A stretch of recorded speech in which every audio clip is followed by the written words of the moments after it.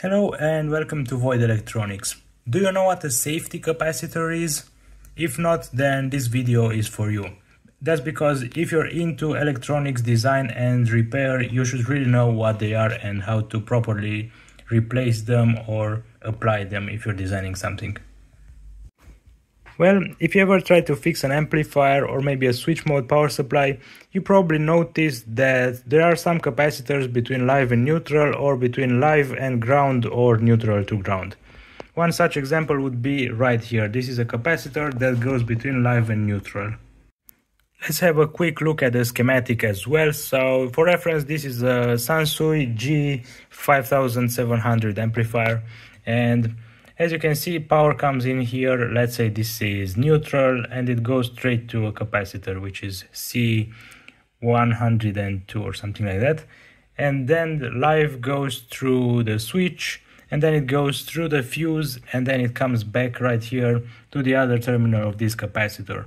So basically after the switch and the fuse, this capacitor is right between live and neutral. And this is the sort of capacitor that I'm talking about. I found a really nice article on DigiKey on this topic and to sum things up, what you should know is that any capacitor that goes uh, between live and neutral or between neutral and ground and live to ground is not your average film capacitor. However, there are some special capacitors called safety capacitors. Let's see what makes them safety capacitors basically. So, let's take the this capacitor for example. This is an X class safety capacitor and that's because it goes across mains basically.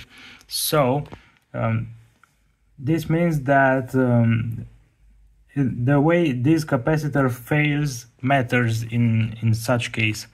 These capacitors can see um, really high voltage across them so they are rated on certain peak voltages, let's say. For example, a class X1 capacitor is rated up to 4 kilovolts, as you can see here.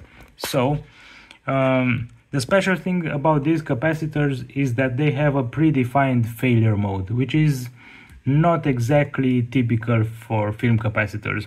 So any X-class capacitor is supposed to fail short-circuited. And this is really important because um, such capacitor needs to have a fuse before it and in case it sees a larger than the rated voltage it will fail short circuited and this will maybe protect the, um, the rest of the circuit at the expense of the capacitor and the fuse of course. So this is why it is better to use a proper capacitor for such an application. However even more critical is um, the type of capacitors that you use for the other position in the circuit, which is right here between live and um, ground or neutral to ground. And that's because um, the short circuit between um, these two points, um, in case of failure of a capacitor, could lead to electrocution. That's because you could have uh, the mains voltage go to, to the case of uh, whatever appliance this thing is in. So this is really really really dangerous and that's why uh, Y rated uh, safety capacitors fail open circuit all the time. Because um, it would be very dangerous for them to fail short circuited so that's why um, the type of capacitor that you use in such an application really matters. And Remember that for a random film capacitor, the failure mode is not guaranteed most of the time. And once again, for Y-class capacitors, there are various subclasses uh, depending on the rated voltage. In case you are wondering why these capacitors are here, well, they're here for what we call EMI compliance or electromagnetic interference compliance. What, um, what this means is that um, even if we like to think of the mains voltage as a perfect, clean sine wave and so on, it is actually far from perfect and it can have lots and lots and lots of noise due to the way all the things that are connected to, to the mains voltage operate. And not only the mains are uh, noisy, but um, the appliances that we use on mains voltage are also noisy so what we do with these filters is basically we try to attenuate external noise from getting into our circuits and maybe changing its functionality and we also try to avoid injecting um, noise from our appliances into the mains. So this is why such a filter is for and if you try to to get into more details, we basically have two types of noise that could appear. First of all, we have differential mode noise, which looks something like this. So let's say as the neutral goes down, the live goes up. So they are out of phase, meaning differential.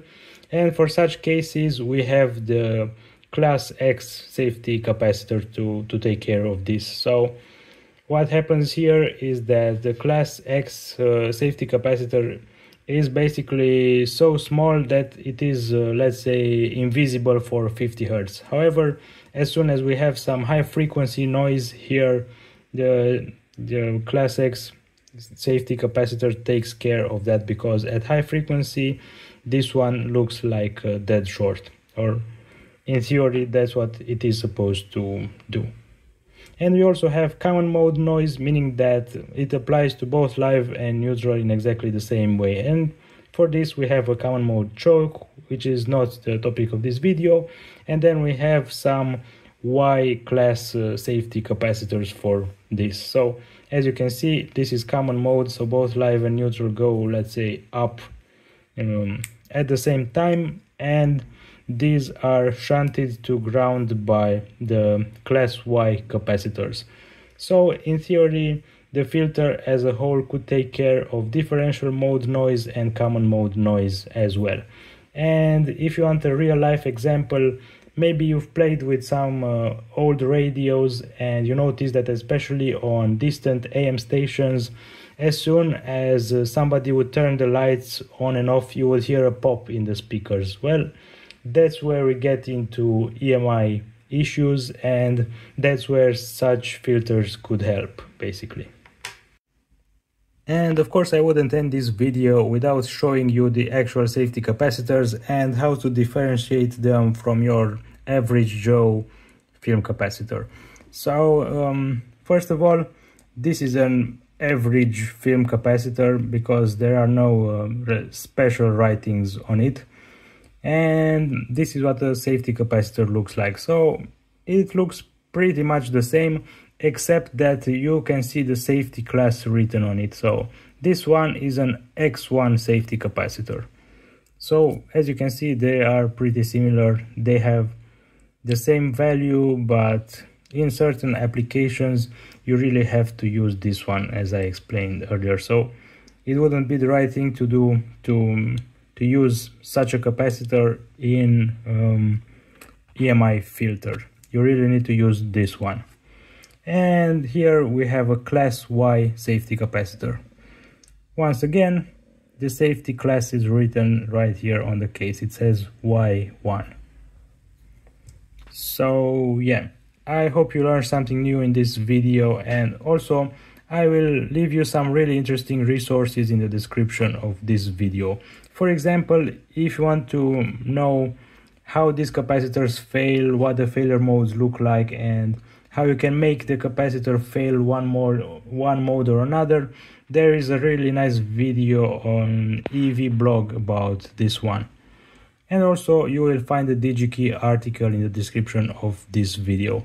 So if you like this video, please give it a thumbs up. And if you're interested in more content related to electronics and programming, please subscribe to this channel because there is more content like this on the way.